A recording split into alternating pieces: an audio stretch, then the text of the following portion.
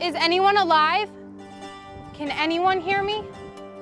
At the Fort Scott National Historic Site in Fort Scott, Kansas, history student Teresa Schaefer performs her own project about unsung hero Mary Bickerdyke.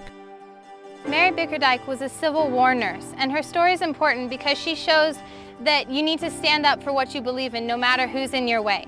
I will bring help. No, it doesn't matter that you are a Confederate soldier. Anywhere she went, she was called the Cyclone in Calico because she'd take the places she'd go and she'd revolutionize them and she'd bring in so much better care for the people she was around. A veteran of over 19 battles, Bickerdyke, through sheer force of will, established over 150 new Army hospitals and became Chief of Nursing under General Grant.